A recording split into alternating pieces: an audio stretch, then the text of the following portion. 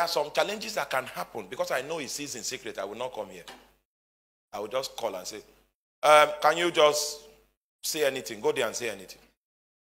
The reason is because I can come here and because I'm an experienced preacher, I can always find one or two things to say and you'll be blessed. But you see, the one that sees in secret, he will still use me to bless you. But my quarrel with him is still existing. So if you don't make that father your number one audience, you will become a stage manager, become a showbiz expert, and you'll be blessing people, but you are not in right standing with your father. You know a calabash, the whole one and the broken one, they are all useful. The whole one, you can use it to drink water, drink, you know. The one that is broken, you use it to pack dirt, but it's still very useful. Are you with me? Very useful. Me, I want to be whole. Because even if you fall, even if you are fake, we will still use you as an example of fake people. And you will still be walking. You say, that man is fake. Oh. So at least we have an example of a fake man. You are still helping us. But at least we can see an example of a fake man. So if you are going to work with God, you are going to be useful. At every point, you will be a useful personality. Hallelujah. Your heart is critical. God was trying to teach Samuel the prophet a few lessons. He said, Men look on the outward, but I, God, I look on the heart. It's from the altar of your heart that God picks your, your prayer. It, it's precipitate like desires. That's where He picks it, not what you say. Because it's possible for your heart to be far from God, and then your mouth is saying something else. So you cannot deceive God with, on such matters because He sees.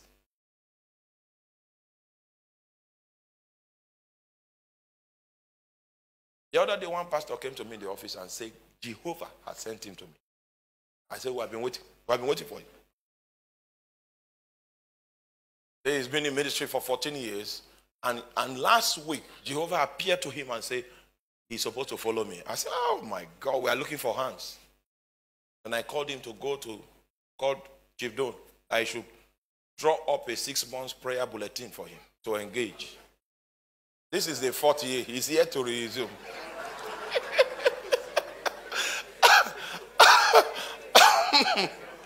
it is because of people like that that our, our father sees his secret. So he doesn't take such people seriously. We are still waiting for him to report. Meanwhile, say Jehovah appear.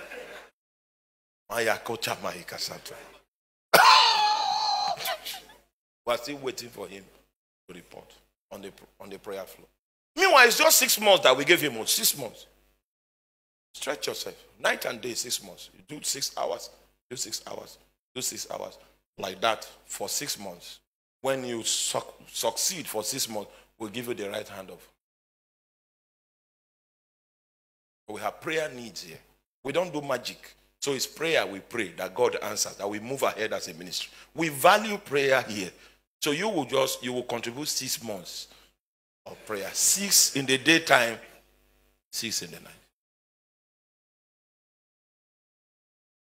He's, we're still waiting for him to. We have no magic wand for ministry. Our magic wand is prayer. The greatest blessing you can do to us, you can be to us, is take some of our prayer burdens. It's huge. So even if you want to you want to learn how to connect cables here, you will pray in the process. You want to do Bible school here, you will pray lot. You want to scrub the floor, you will pray. We will give you a location. Because the burden is a enormous. Day and night labor. So we say you do six months and then you'll be initiated. He has not reported. This is the 40.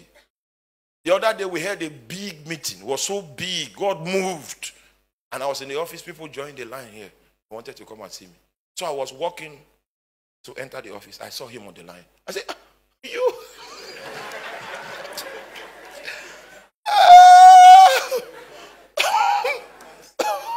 I thought you had gone abroad. You are, you are, you are here. He now left the, the line and left. Men look on the outward. or God. So, in view of this, you will need to keep your heart with all diligence.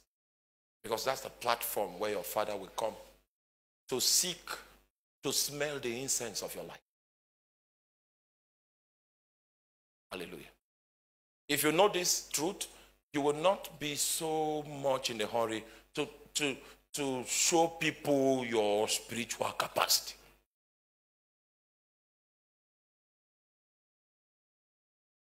We did some fasting, dry. And then we wanted to end it, end it with a conference. So a minister came from London. And he feels that the man that is praying is the man that is this. Meanwhile, the reason why we couldn't do that was because we had no strength. We just came from the mountain and we were high in spirit. But he couldn't discern where we were standing because he felt if we are praying, we should be shaking. I knew I was in the wrong place. In my weakness, I crawled out because it's not for people that are in secret.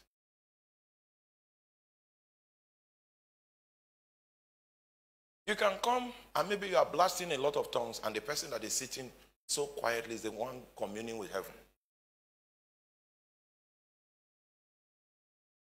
If you prioritize the, the, the, the, the emphasis of your heart, if you prioritize it, you will always connect.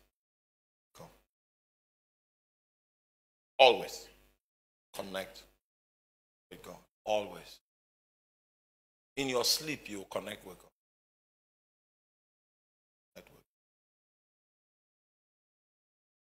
Hallelujah. Yesterday night, I'm still trying to download what God was telling me. Because if God really wants to speak to me, He comes like a human and He sits by my bedside when I'm sleeping.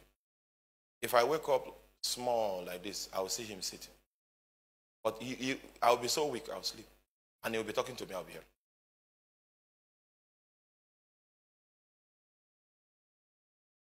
It was you he spoke about, Smith. Spoke about Smith for 30 minutes, where he was taking him. I was now wondering, never seen Smith in a vision.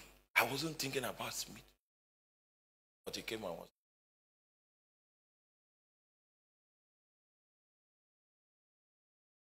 Till the heart. Right? And if anybody wants to make your heart turbulent, don't accept it. You can, you can actually you can actually engage people and they insult you and you, you refuse to allow it touch here. That's where they, he said keep it with all diligence. Transmission that will come from your father will always land at that airport. Make sure the airport, the runway is not sterilized. Let it be open for traffic. After speaking about me, I was wondering spoke, spoke so, so many things, so many things, showed me where he's, he's taking it. Wow. Finished that. Started showing me two rivers. Because when I woke up that I found it is two trips I'm going to make this year. It's a journey. A journey. So I'm still praying to understand two. And showed me gold. That's the third thing. Gold. I woke up when I was in the interface, I was still seeing him. He was sitting there. Now turned my head to, to see him properly.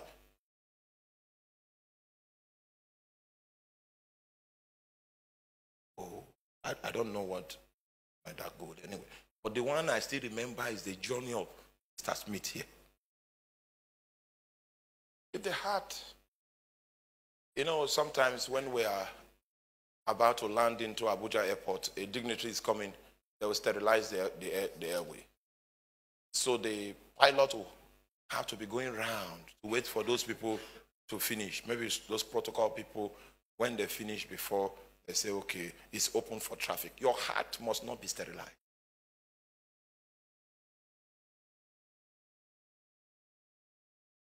If you are going to engage a father that sees in secret, then you will take the issues of your heart seriously. In my study of the Bible, I found that there are 13 postures of the human heart, and only one is accurate. But there are 13 possible postures that your heart can sustain. Your heart is as sublime. Your heart is like amoeba. It can take any shape. Circumstances can even affect the shape that your heart takes if you allow it.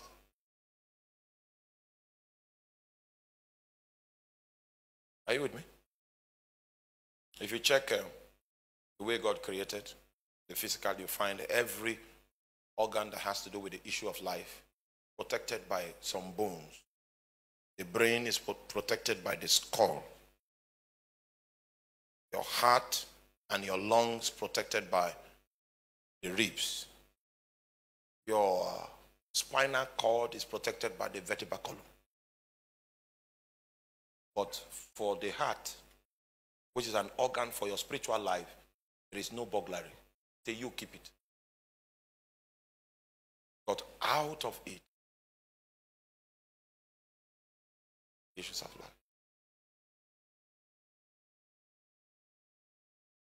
There is, there is a song we used to sing those days in the old revival. I've forgotten the wordings. I'll try.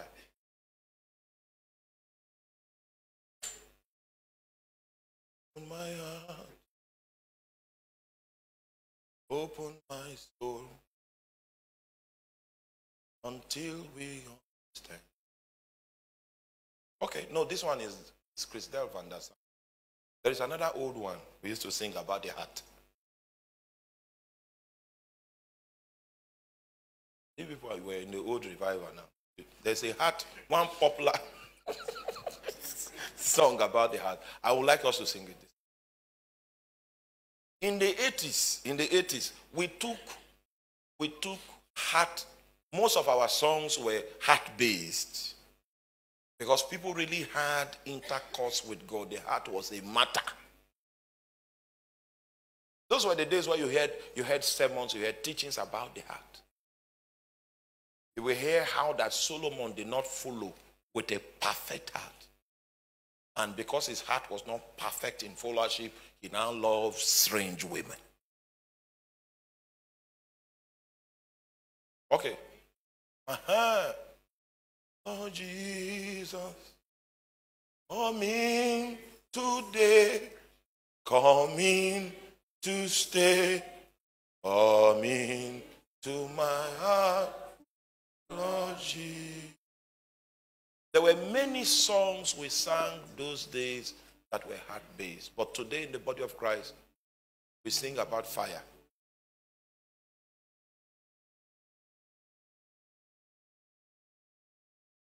We sing about fire, glory.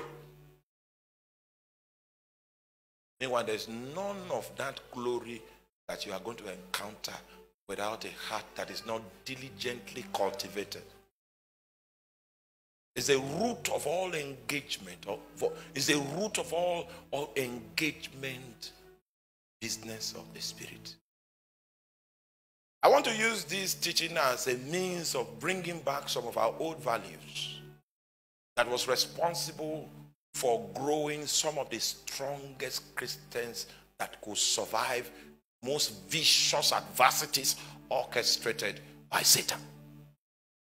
There were men that could cultivate the heart. Because that's where the business is done. Your father see it in secret, and he will reward you open. I preached many times, and the Holy Ghost was grieved because I said something, and many miracles still took place. And people wondered, what powerful man was this? I went home brokenhearted to look for him and say, Can we discuss this matter? If you lose focus, lose sight of your heart, you will become a ninja and you will not know. When you see some mafia moves that pastors can conveniently take, make, and edge people out, you will know that even though he knows prayer, he only knows prayer answered. He's not a candidate for the rewards that come from prayer. The heart is no longer emphasized. For instance, the average lady doesn't understand that her beauty is going to move from her face to her heart in old age. Doesn't know. He's looking for foundation for the face. I'm not saying stop using it. I'm just saying know that your true beauty can never hang on that face. Booker. your true beauty can never hang there.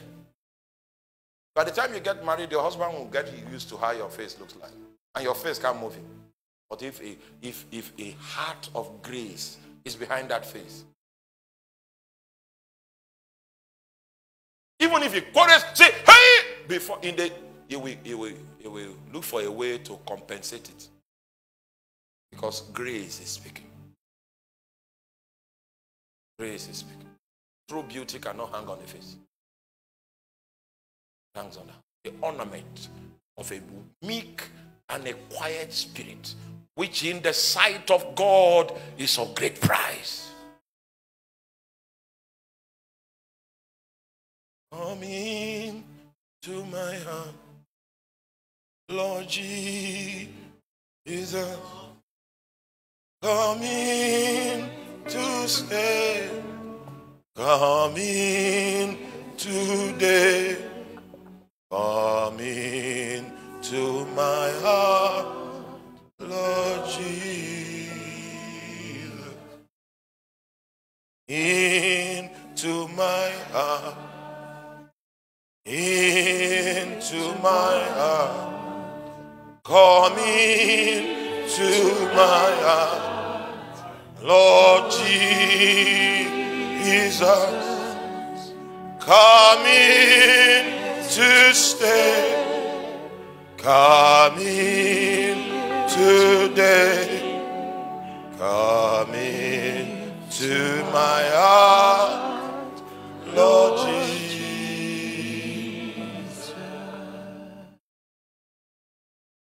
The ancients, they taught us something. They say if you find a song, are you with me? That that heart is in it, and you find and Jesus is in it. These two things. It will, it will, it will take you on a trip inside.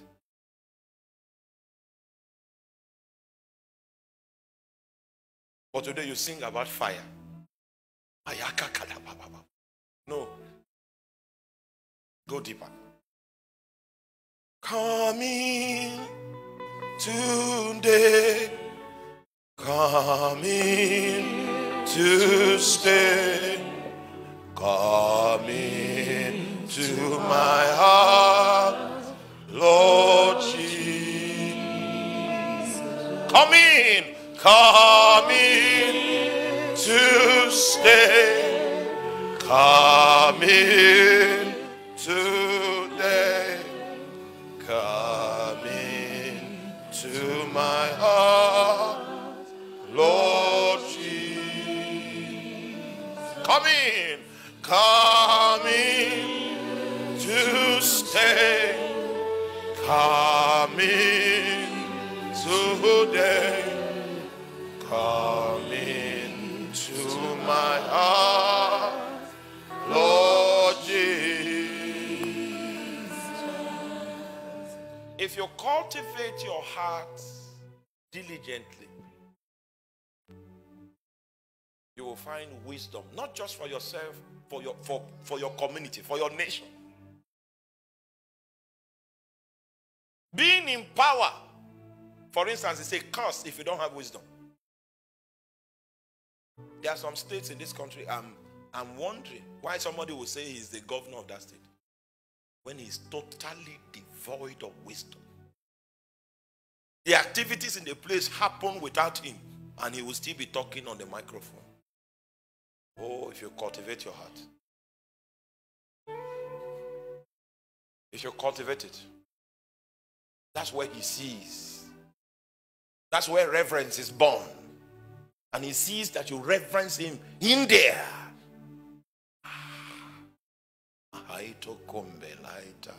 He will come to you in the night. Coming to stay. Coming today. Coming to Lord Jesus.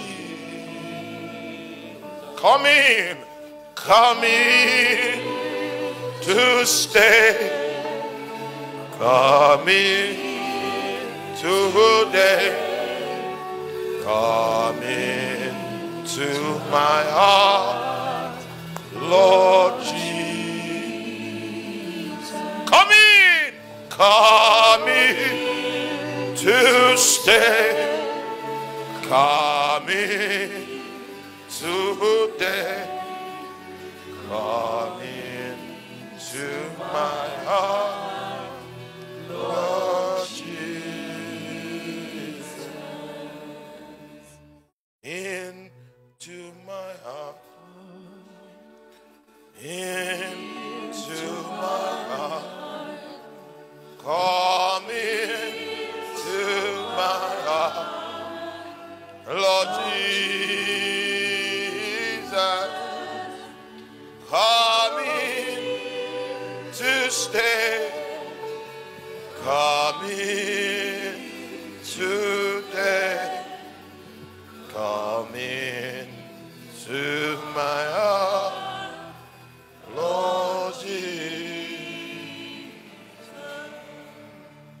what you just did is what we call heart cultivation.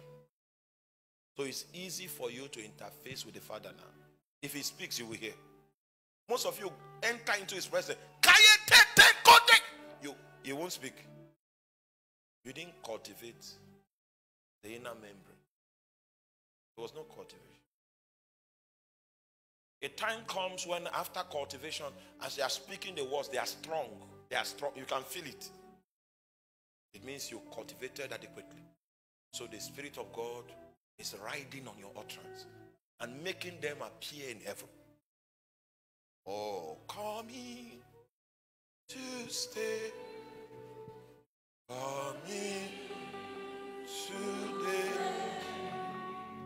Coming to my heart,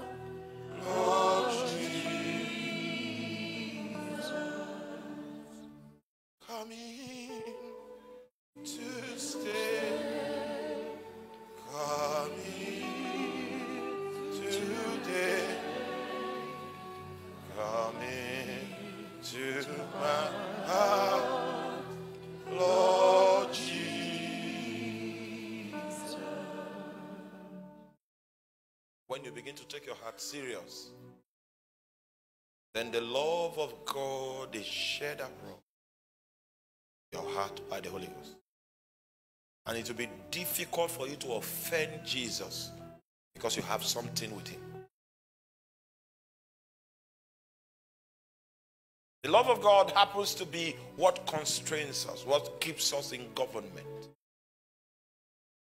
what keeps us in right standing with God because we are not willing to offend Him. We know the experience of the revelation of the love of God.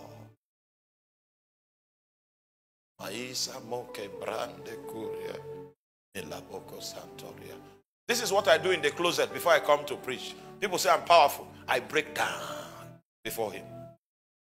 Then he will look at me.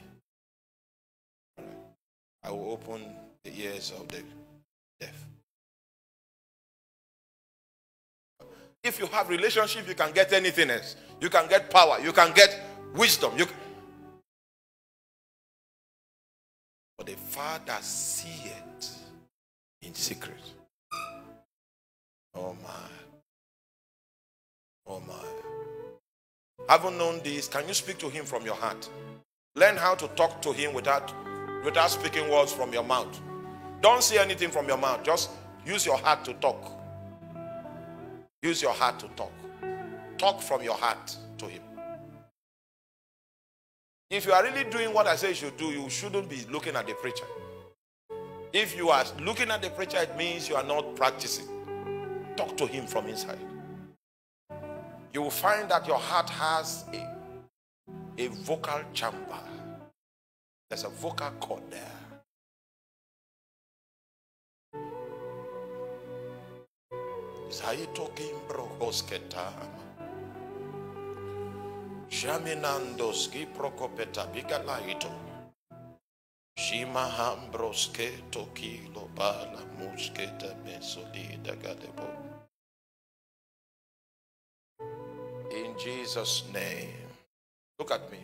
What you just did now is you shut the door.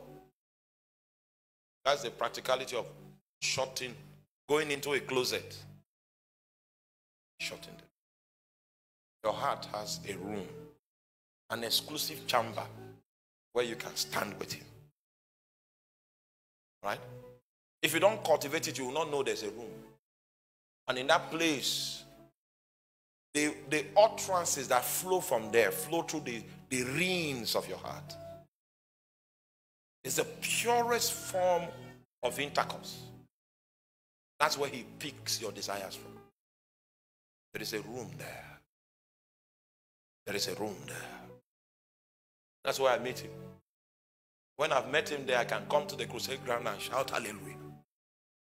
That one that I met in the privacy of that environment, he will come out in the open to defend every discussion we had there. Oh my.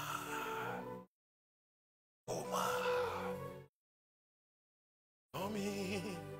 If we push this service for five more minutes, he will come here. Because we have spoken in that place. There is a room where only you can stand.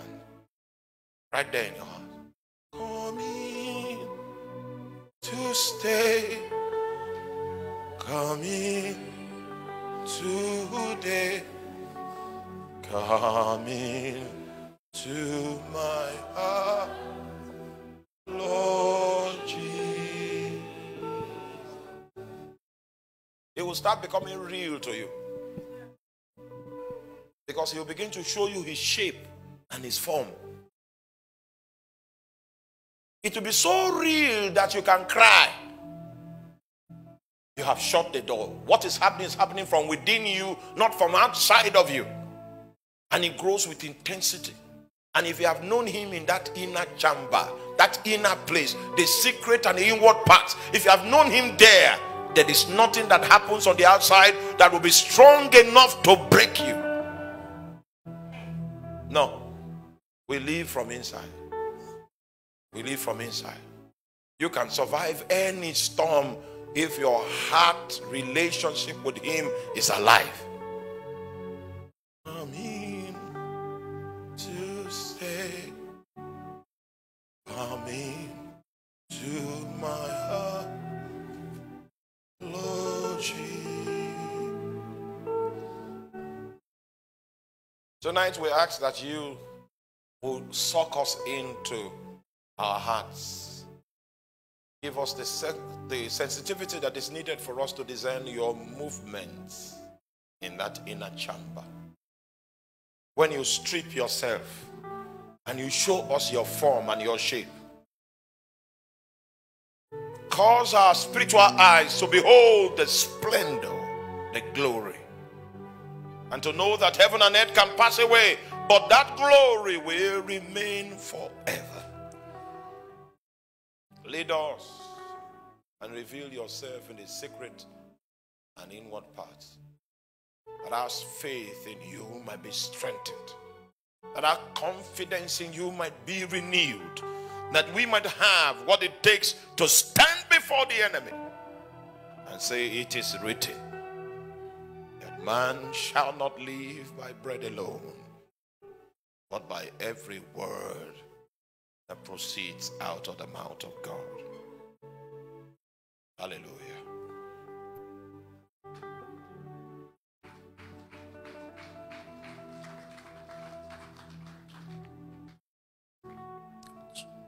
Hallelujah. Hallelujah. Please let's pass the offering basket round.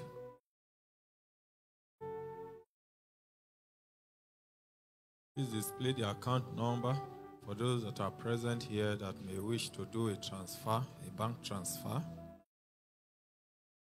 For those that are following us online, may want to participate in the offering.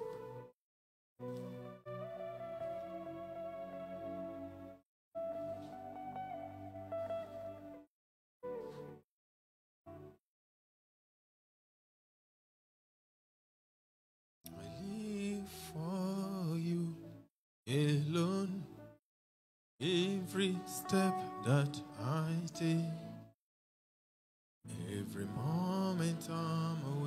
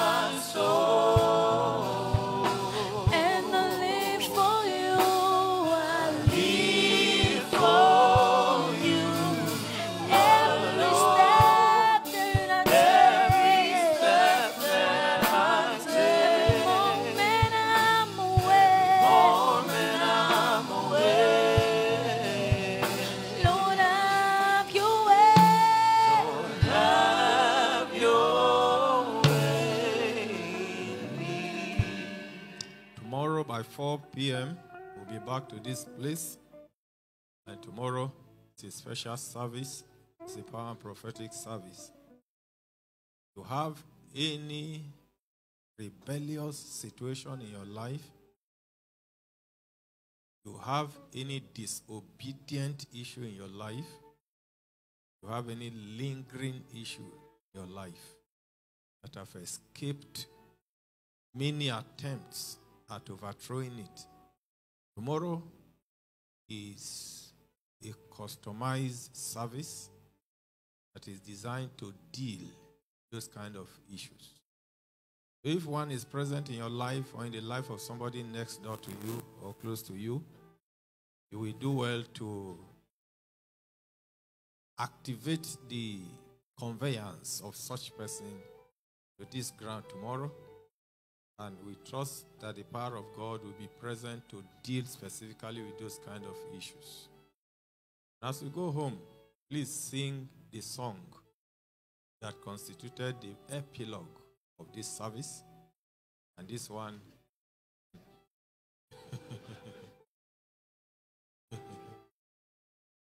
Please let's rise up and say, For thine is the kingdom, power, and the glory